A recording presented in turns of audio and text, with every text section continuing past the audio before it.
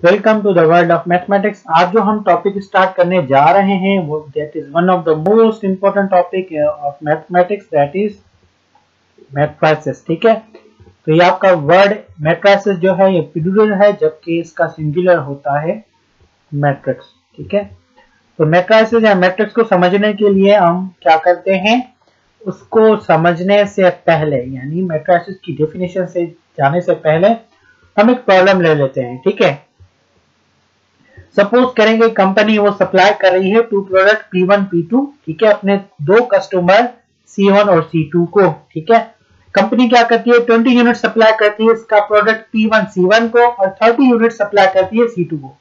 जबकि ये सप्लाई करते हैं 25 यूनिट्स प्रोडक्ट जो है P2 C1 को और 15 यूनिट्स देती है C1 को। अब हम क्या करते हैं? ये जो आपकी इंफॉर्मेशन है, इसको हम किसी सिस्टमेटिक वे से लिखना चाहते हैं, ठीक है? फॉर एग्ज़ाम्पल मैं कह रहा हूँ कि मेरी कंपनी P1 है और P2 है। ये मेरी कंपनी P1 है P2 है। ये मेरा कस्टमर C1 है, ये कस्टमर C2 है।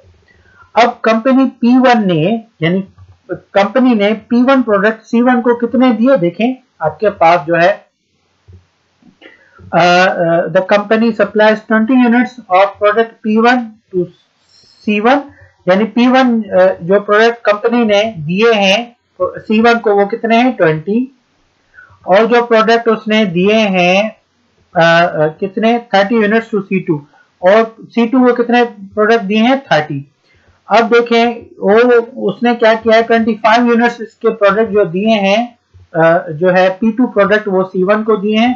तो 25 प्रोडक्ट C1 को दिए हैं और जबकि 15 यूनिट्स दिए हैं C2 को। ठीक है? तो मैंने यही इंफॉर्मेशन जो वर्डिंग में लिखी हुई थी, मैंने वर्डिंग से हटा के यहाँ लिख दी। तो देखें, यहाँ जो है, मैंने अभी इसको मैं थोड़ा अच्छा करने के लिए मैं यहाँ ये ब्रैकेट लगा रहा हूँ, जिसको हम स्क्वायर ब्रैकेट कहते हैं, ठीक है? तो देखिए ये हमें क्या इंफॉर्मेशन दे रहा है कि प्रोडक्ट P1 जो है 20 मिले हैं C1 को और प्रोडक्ट P1 जो है 30 मिले हैं C2 को। सिमिलरली जो प्रोडक्ट P2 है, वो 25 मिले हैं C1 को और प्रोडक्ट पी टू जो है 50 मिले हैं C2 को। तो ये इंफॉर्मेशन रीड करना बहुत ही ज़्यादा आसान है as compare to the wording which is writing in English right तो इसलिए जो है ये मेट्राइसिस हम ये जो है हम इंफॉर्मेशन uh, को आसान करने के लिए हम इस नोटेशन में लिखते हैं जो आपका एक एग्ज़ाम्पल है मेट्राइसिस का ठीक है? तो अब आ जाते हैं मेट्राइसिस में। आपके मेट्राइसिस क्या होता है, उसकी डेफिनेशन को देख लेते हैं। In mathematics matrix is an arrangement of objects numbers और वेरिएबल देखें ये नंबर्स की हमने अरेंजमेंट की है ना। In the form of rectangular array ये देखें रेक्टेंगुलर अरे है। देखें अरे जो है इट्स आपकी कौन कौन सी है? ये भी आपकी अरे है, ठीक है? जो आपकी ऐसे आपको हॉरिजॉन्टल दिखाई दे रही है, और ये भी आपकी अरे है, जो आपको वर्टिकल दिखा रही, दिखाई दे रही है। उसको हम रेक्टेंगुलर अरे हम कह रहे हैं। रेक्टेंगुलर इसलिए कह रहे हैं कि यानी स्क्वायर के फॉर्म में ये लाजमी नहीं है हो, यानी ऐसा नहीं है कि आपके स्क्वायर के फॉर्म में हो रेक्टेंगुलर हो सकता है, यानी कोई मेरे पास ऐसे भी हो सकता है। तो two three four five eight nine three two ठीक है? तो ये समहाउ रेक्टेंगल की शेप दिखा रहा है, न कि स्क्वायर की शेप दिखा रहा है। जबकि ये स्क्वायर की शेप दिखा रहा है नो प्रॉब्लम बल्कि ये जो शेप है रेक्टेंगल की शेप दिखा रहा है। तो रेक्टेंगुलर हम एक अरे लिखते हैं। its elements are called uh, its elements are, are written in the square bracket in एक खास किस्म में इसके एलिमेंट्स को लिखते हैं जिसे मैंने आपको लिख के बताया यानी डिस्टेंस से लिखते हैं। दो एलिमेंट के बीच में खाली स्पेस छोड़ते हैं और सिमिलरली ऐसे भी एलिमेंट्स के बीच में कुछ खाली स्पेस छोड़ते हैं ठीक है? एक डेफिनेट ऑर्डर से डेफिनेट तरीके से लिखते हैं ठीक है? और इनको लिखते हैं दो स्क्वायर ब्रैकेट के बीच में, ठीक है? और ये आपकी कौन सी अरे है? रेक्टेंगुलर अरे है। तो ये आपका क्या हुआ? मैट्रिक्स हुआ, ठीक है? तो मैट्रिक्स क्या होता है? अरेंजमेंट होती है ऑब्जेक्ट की in the form of rectangular array और उसके एलिमेंट्स को हम स्क्वायर ब्रैकेट में लिखते हैं। उसके बाद हम आ जाते हैं नोटेशन पे। मैट्रिक्स को हम कैसे रिप्रेजेंट करते हैं? मैट्रिक्स को हम आमतौर पे जो है यानी मैट्रिक्स को हम जो है capital A B C and so on up to capital Z यानी कैपिटल ए बी सी के लेटर्स से हम मैट्रिसेस को रिप्रेजेंट करते हैं। फॉर एग्जांपल मेरे पास मैट्रिक्स है capital A is equal to one two ये भी मेरे पास मैट्रिक्स है। For example B is equal to मेरे पास मैट्रिक्स है वन थ्री नेगेटिव नाइन और ज़ीरो ये भी मेरे पास मैट्रिक्स है।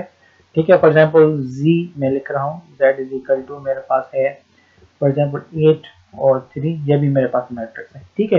तो डिफरेंट मेरे पास मैट्रिक्स के एग्जांपल है तो मैट्रिक्स की नोटेशन क्या है कि मैट्रिक्स को हम कैपिटल जो है लेटर्स ए बी सी से शो करते हैं। उसके बाद है ऑर्डर ऑफ़ द मैट्रिक्स ठीक है? अब हम उसके बाद देखेंगे मैट्रिक्स का ऑर्डर क्या होता है। तो मैट्रिक्स के ऑर्डर को समझने से पहले हम ये समझते हैं मैट्रिक्स जो है, उसकी बनावट में कौन कौन सी चीज़ें होती हैं? फॉर एग्ज़ाम्पल मैं एक मैट्रिक्स लिख रहा हूँ। For example B is equal to मेरे पास है एट थ्री नाइन और थ्री फोर फॉर एग्ज़ाम्पल मेरे पास है नेगेटिव सेवन ठीक है? जो जो आपकी हॉरिजेंटल लाइन होती है ना, इसको मैट्रिक्स में कहते हैं रोज ये और ये, आपकी इसको कहते हैं रोज और ये आपकी वर्टिकल जो लाइंस होती हैं मैट्रिक्स में हम इसको कहते हैं कॉलम्स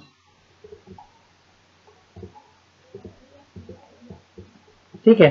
तो अब देखें इसमें रोज कितनी है? ये फ़र्स्ट और ये सेकंड इसमें रोज कितनी है? टू रोज है. इसमें कॉलम कितने हैं? देखें वन टू थ्री इसमें कॉलम कितने इतने? इसमें थ्री कॉलम है.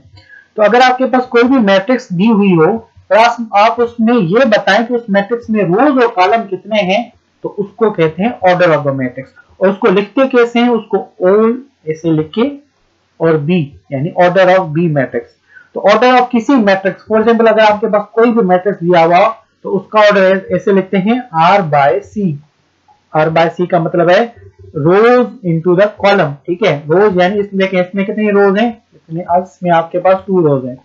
इसमें कॉलम्स आपके पास कितने हैं? टू थ्री कॉलम है.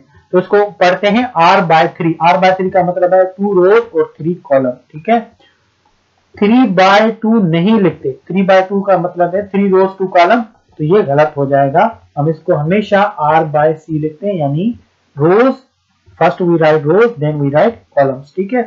तो इसको कहते हैं ऑर्डर ऑफ़ द मैट्रिक्स ठीक है? अच्छा आर बाय सी का मतलब ये नहीं है टू मल्टीप्लाई बाय थ्री कोई student two multiply by three six कर दे, नहीं. ये सिर्फ़ लिखने का एक तरीका है, ठीक है? जिसका मतलब है कि फ़र्स्ट नंबर आपको बताता है number of rows second number आपको बताता है नंबर ऑफ़ कॉलम्स ठीक है? अब हम इन सारे जो आपके पास मैट्रिक्स हैं ऊपर दिए हैं, इनकी हम रोज और कॉलम फाइंड करते हैं। देखें, इसमें रो कितनी है ऐसी? वन ठीक है? और देखें, इसमें कॉलम कितने हॉरिजॉन्टल वर्टिकल ये फ़र्स्ट और सेकंड आपके पास इसमें कितनी रो है? एक रो और टू कॉलम्स सही है? इस ऑर्डर ऑफ़ मैट्रिक्स एक क्या होगा यहाँ? आपके पास वन रो है और कॉलम कितने हैं? टू इसमें देखें, आपके पास रो कितनी है? टू रोज और कॉलम कितने हैं? टू कॉलम ठीक है? तो ऑर्डर ऑफ़ यहाँ मैट्रिक्स बी हो, क्या होगा? Two rows and two column यहाँ जेड में देखें, आपके पास देखें रो कितनी है? वन और टू टू रोज हैं, ठीक है? और कॉलम कितने हैं? आपके पास एक ही कॉलम है तो ऑर्डर ऑफ़ मैट्रिक्स जेड क्या होगा? ऑर्डर ऑफ़ मैट्रिक्स जेड होगा आपके पास कि आपके पास टू रोज हैं और वन कॉलम है। ठीक है? इस तरीके से हम order of the matrix find करते हैं कि उम्मीद है कि आपको यहाँ तक समझ में आ गया होगा। ज़्यादा जो है, इंशाल्लाह फिर नेक्स्ट वीडियो में डिस्कस करेंगे